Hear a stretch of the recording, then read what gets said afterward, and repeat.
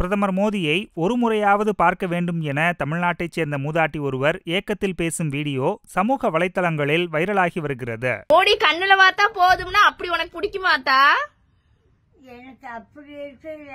கண்ணுல பாக்கறல்ல. சாமி நின்னுயா தங்க உன்னை நான் பாத்துக்கிறேன்.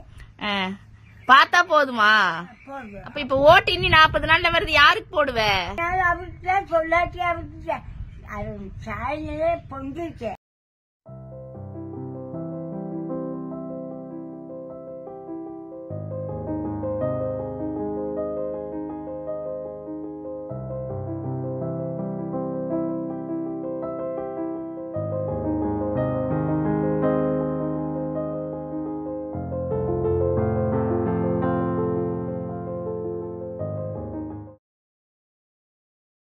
செய்திகளை உள்ளது உள்ளபடி தெரிந்து கொள்ள ரெஃப்ளெக்ட் நியூஸை சப்ஸ்கிரைப் பண்ணுங்க.